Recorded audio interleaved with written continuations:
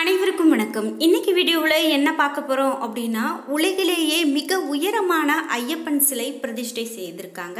அதை பற்றி தான் பார்க்க போகிறோம் நாம் இப்போ பார்த்துட்டு இருக்கக்கூடிய இந்த வீடியோ காட்சி மறைமலை நகர் அருகில் இருக்கக்கூடிய முப்பத்தி ஆறு அடி உயரத்தில் ஐயப்பன் சிலை இங்கு செய்து பிரதிஷ்டை செய்து வந்திருக்காங்க. இதில் திரளான பக்தர்கள் பங்கேற்று ரொம்பவே சிறப்பாக நடத்தி கொடுத்துருக்காங்க அப்படின்னு தான் சொல்லணும். நாம் இப்போ பார்த்துட்டு இருக்கக்கூடிய இந்த வீடியோ காட்சியில் மிக உயரமான ஐயப்பன் சிலைக்கு பால் அபிஷேகம் செய்யக்கூடிய காட்சியை தான் பார்க்குறோம். இது மிகவும் கண்கொள்ளா காட்சி காண கிடைக்காத காட்சி அப்படின்னு சொல்லலாம். இந்த வீடியோ பார்த்துட்டு இருக்கக்கூடிய உங்களுக்கு ஐயப்பன் பிடிக்கும் அப்படின்னா இந்த வீடியோக்கு ஒரு லைக் பண்ணிவிட்டு கீழே கமெண்ட் பாக்ஸில் சுவாமியை சரணமையப்பா என்று பதிவிடுங்க. இந்த பிரதிஷ்டை நடக்கும்போது அங்கு திரளான இருந்த பக்தர்கள் விண்ணை பிளக்கும் அளவிற்கு சரண கோஷம் எழுப்பி அந்த ஐயப்பனை வழிபட்டிருக்காங்க அப்படின்னு சொல்லலாம். குறிப்பாக நம்ம ஊரில் மிக உயரமான முருகன் அப்படின்னு நம்ம நிறைய சிலைகளை பார்த்துருக்கோம். ஆனால் ஐயப்பனுடைய சிலை இவ்வளவு உயரமாக இவ்வளவு பிரம்மாண்டமாக இருக்கக்கூடிய சிலையை பார்க்கறது மிக மிக கடினமானது. அந்த வகையில் தற்போது ஐயப்பன் சிலை முப்பத்தி ஆறு அடி உயர ஐயப்பன் சிலை செய்யப்பட்டு இங்கு ரொம்பவே சிறப்பாக கொண்டாடப்பட்டு வந்திருக்கு. அதை பற்றிய முழுமையான தகவல்கள் இந்த வீடியோவில் பார்க்கலாம். வீடியோ உங்களுக்கு மிகவும் பயனுள்ளதாக இருக்கும் கடைசி வரைக்கும் ஸ்கிப் பண்ணாமல் முழுசாக பாருங்கள் நீங்கள் இன்னும் உற்சாகம் டிவி சேனலை சப்ஸ்கிரைப் பண்ணாமல் இருந்தால் சப்ஸ்கிரைப் பண்ணிக்கோங்க. கூடவே இருக்க பெல்லைக்கான மறக்காமல் கிளிக் பண்ணிடுங்க வீடியோவை பார்க்கும்போது சுவாமியே சரணமையப்பா என்று கமெண்ட் பாக்ஸில் பதிவிட்டுட்டு வீடியோவை தொடர்ந்து பாருங்கள் வாங்க வீடியோக்குள்ளே போகலாம் நாம் இப்போ பார்த்துட்டு இருக்கக்கூடியது கருங்காலி மாலை. இந்த கருங்காலி மாலையை அணியும் போது நமக்கு தடைப்பட்ட காரியம் கூட நடக்கும். நல்ல பணவரவு இருக்கும் பாசிட்டிவான எனர்ஜி இருக்கும் அப்படின்லாம் நிறைய சொல்கிறாங்க ஆனால் உண்மையாகவே அனுபவ ரீதியாக இந்த கருங்காலி மாலையை வாங்கி அணியும் போது நிறைய நல்ல பலன்களை பெற்றிருக்கோம். வாழ்க்கையில் நல்ல திருப்பம் இருக்குது அப்படின்னு சொல்கிறாங்க உங்களுக்கும் இந்த கருங்காலி மாலை வேணும் அப்படின்னா ஸ்க்ரீனில் தெரிகிற இந்த வாட்ஸ்அப் நம்பருக்கு தொடர்பு கொண்டு உடனே பெற்றுக்கொள்ளுங்கள் உங்களுடைய வாழ்க்கையில் மிக பெரும் மாற்றம் மாற்றங்கள் காத்திருக்கு அப்படின்னு சொல்லலாம். இந்த மாலை ஒரிஜினலாக அணியக்கூடிய பட்சத்தில் நமக்கு மிக பெரும் நன்மைகள் கிடைக்கும். உற்சாகம் டிவி நேயர்களுக்காக ஒரிஜினலான கருங்காலி மாலை எங்ககிட்டயே கிடைக்குது. ஸ்க்ரீனில் தெரிகிற இந்த வாட்ஸ்அப் நம்பருக்கு தொடர்பு கொள்ளுங்கள்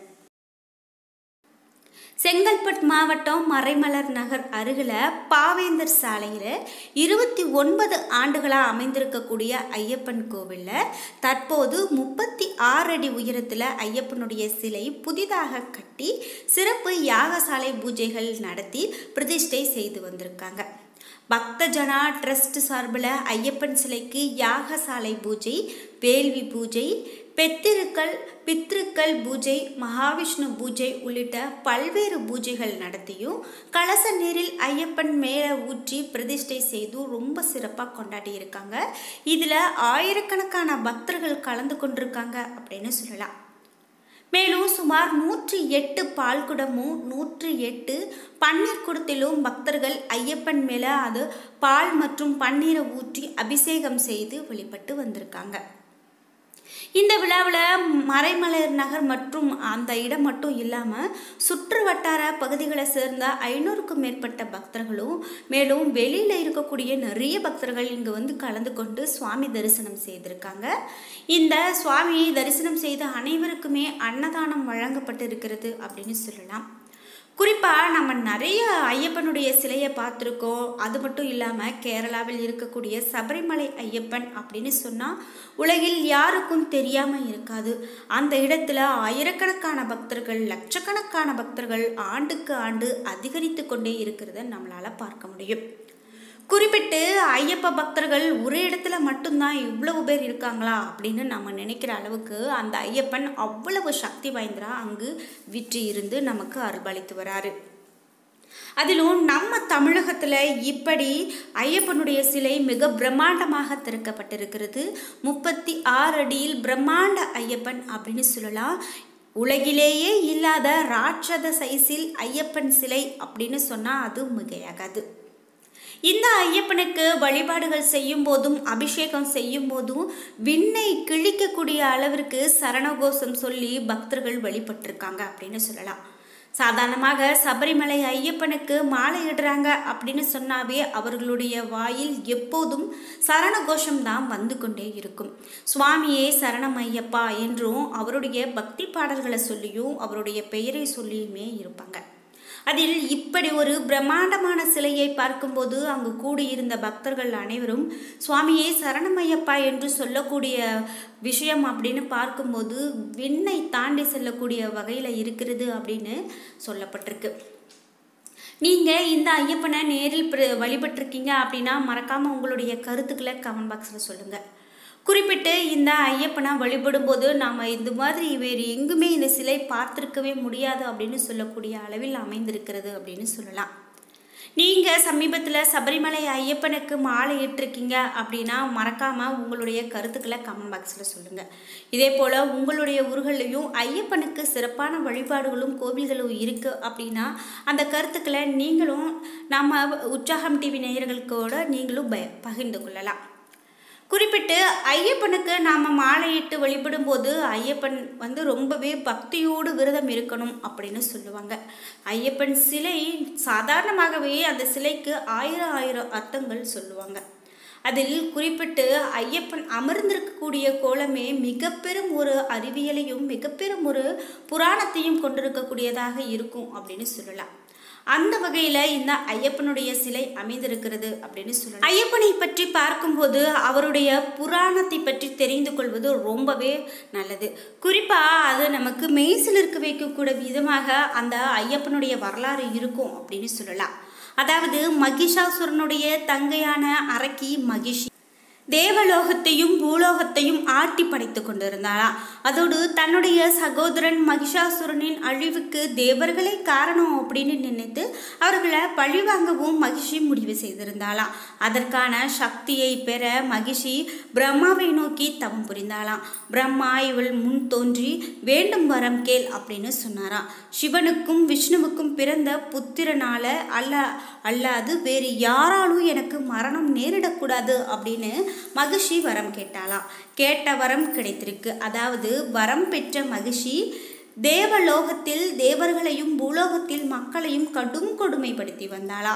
தேவர்கள் துயரம் தாங்காம பரமசிவனிடத்தில் முறையிட்டிருக்காங்க. விஷ்ணுவனுடைய அம்சமான மோகினி மூலமாக சைவ வை வைஷ்ணவ ஜோதியாக ஐயப்பன் பூலோகத்தில் அவதரித்தாரு.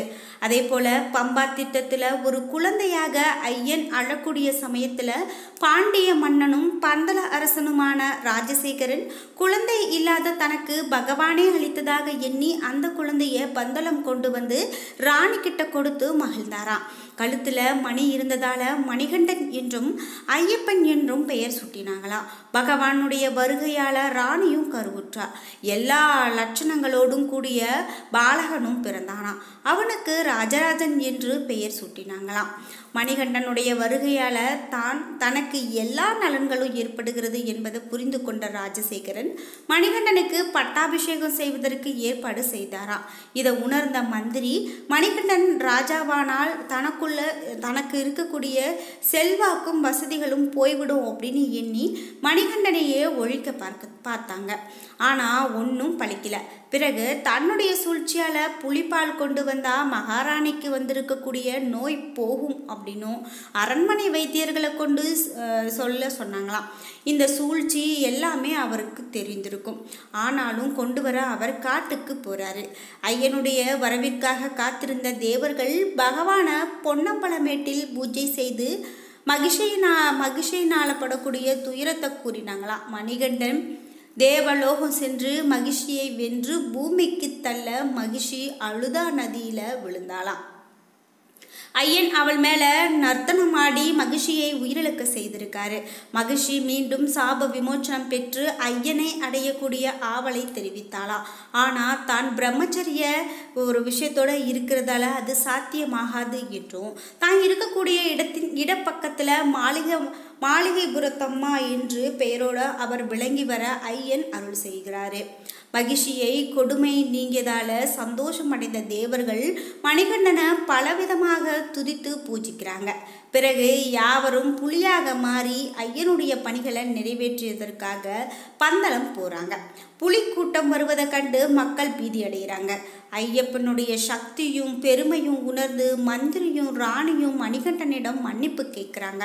மணிகண்டனும் மன்னிப்பதற்கு எதுவும் இல்லை. எல்லாம் லீலைகள் படி நடந்திருக்கு. நான் பூமியில் எதற்காக பிறந்தோனோ அந்த வேலை முடிந்தது. இனி நான் தேவலோகம் செல்கிறேன் அப்படின்னு சொன்னாராம். மன்னன் பகவானோ தாங்கள் எங்களுடன் இருந்ததன் அடையாளமாக உங்களுக்கு ஒரு கோவில் கட்ட நினைக்கிறோம். அதை எங்கு கட்ட வேண்டும் என்று சொல்லுங்க என்றாராம். மணிகண்டன் ஒரு அம்பை எய்து அந்த அம்பு செல்லக்கூடிய இடத்தில் எங்கு போய் விழுகிறதோ அங்கு கோவில் எழுப்புங்கள் அப்படின்னு சொன்னாராம்.